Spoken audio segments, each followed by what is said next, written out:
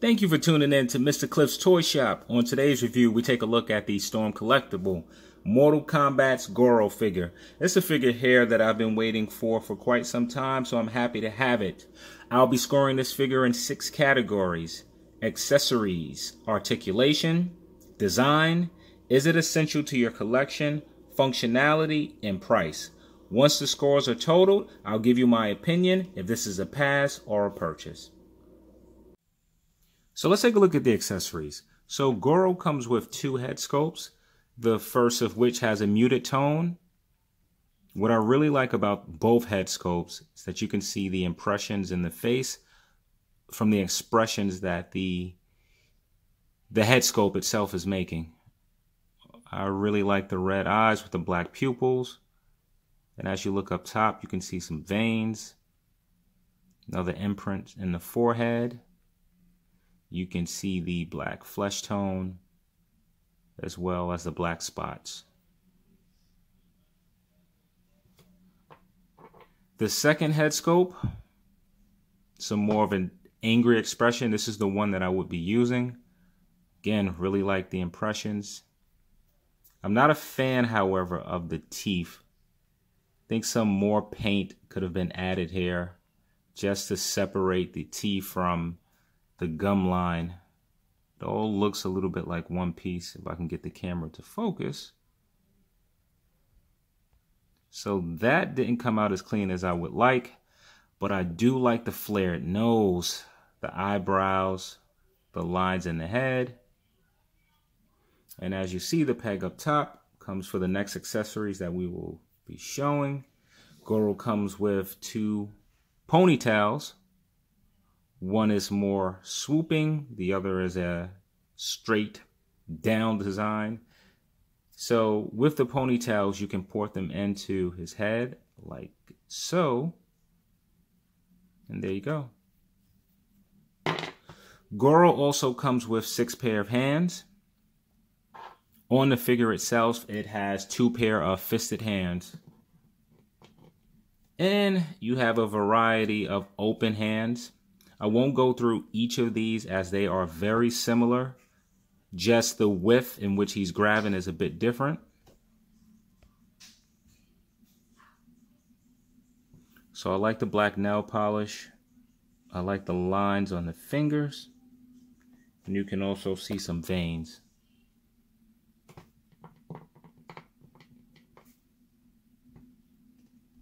And these hands aren't as open as the ones that I've previously showed.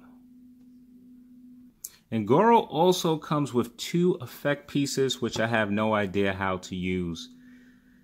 If you can see how the back of this effect piece is sort of shaped, and you can see the front, it doesn't appear to be any way to plug this onto Goro herself. This does come with a stand, However, since I'm not big on stands, I probably will not be able to fully utilize this piece. And we also get this stand, which seems way too small for the figure.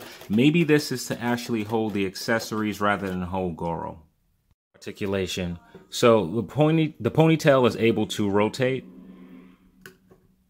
The head is able to look up that far. It's able to look down all the way.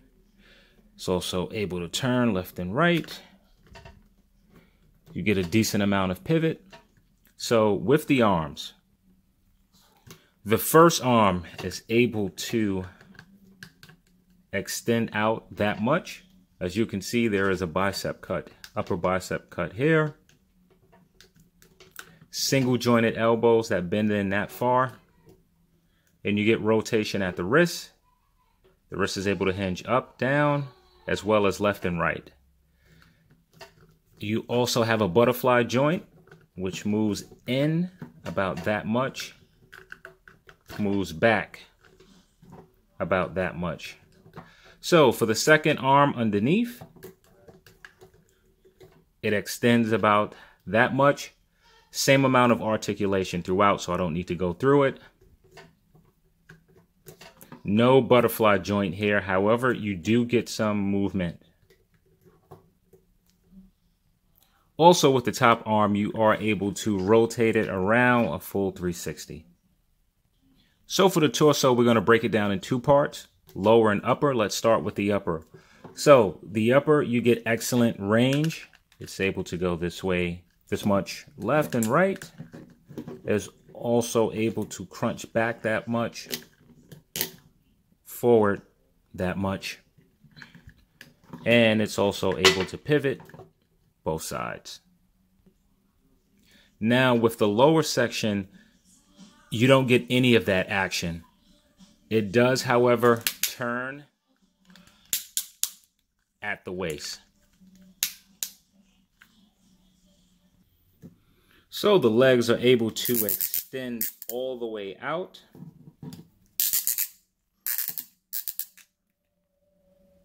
A lot going backwards. Goro is able to do a full 360. You're able to get rotation at the upper hip. Double jointed knees, which bend in that far. Two points of articulation on the foot. The toes move that far up. Don't move down at all. With the ankle, really doesn't move up. It moves a little bit down. And the movement in the foot, it doesn't pivot to the point to where I would call it an actual pivot, but you are able to get some movement from it. So for accessories, Goro doesn't come with a lot, but he does come with everything I remember from the first Mortal Kombat.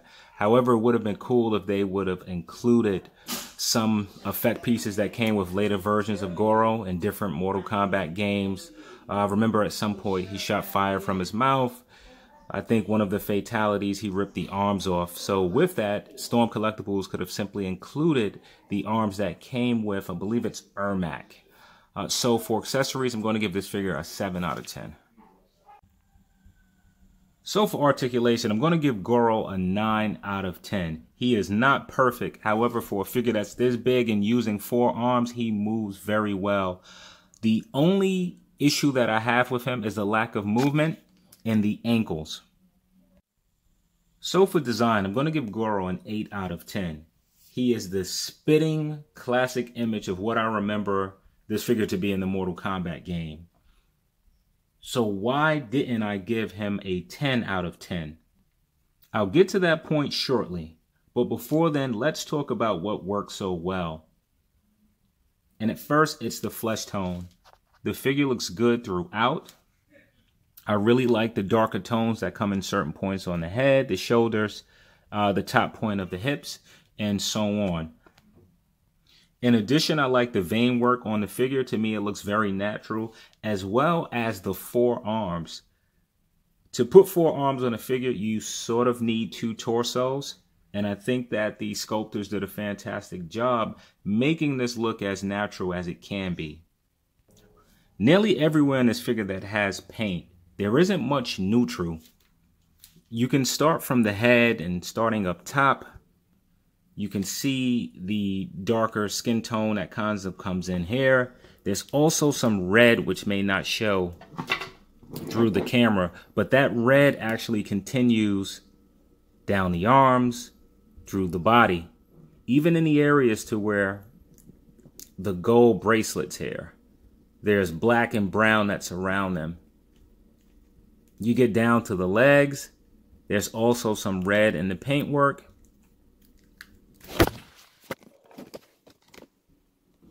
When you look at the white wrapping around his leg, I can see at least three different colors here. And that continues even on the back of the figure. I think they did a great job painting the back. And sometimes this is the area where some companies skip out.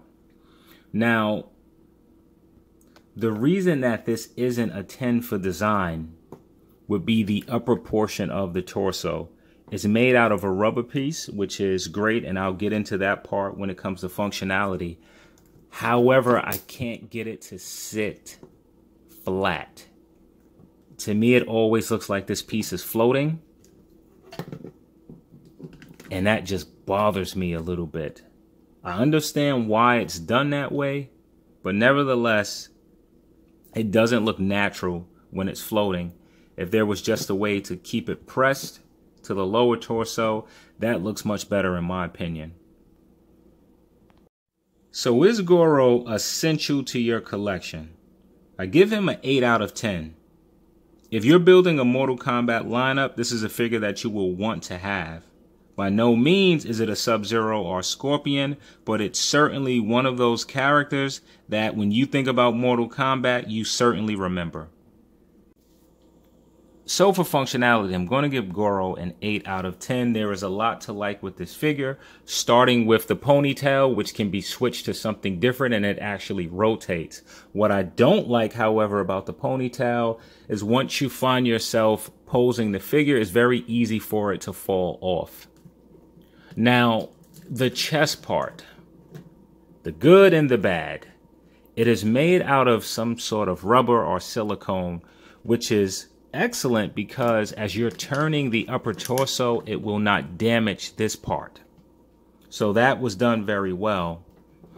The setback is that the lower torso has no articulation. There's no ab crunch forward, backwards, no side to side pivot. So just having a point of two artic of articulation in the lower torso would have gave this figure more range of movement.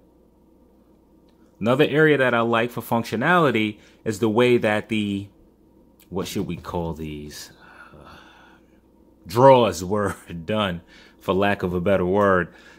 They're also made out of rubber, rubber, so it allows you to get excellent range of movement, and it's not restricted by this.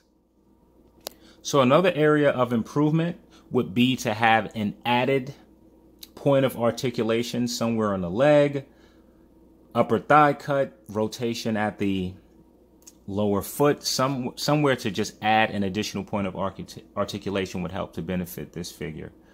Also, Goro is not the easiest to stand. You will get him to stand, but it will take some moving and some prep work. So Goro is priced at $95. I was able to pick mine up at New York Comic Con, so I didn't have to pay for shipping. By no means is $95 a cheap amount for a 6 inch scale action figure. However, compared to the line, which most figures run from 55 upwards, I feel that this is a reasonable price. So for pricing for Goro, I am going to give him a an 8 out of 10. So that gives us a cliff score of 48 out of 60.